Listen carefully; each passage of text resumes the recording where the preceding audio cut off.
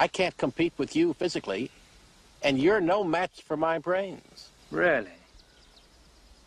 In that case, I challenge you to a battle of wits. I accept. Good. Then pour the wine.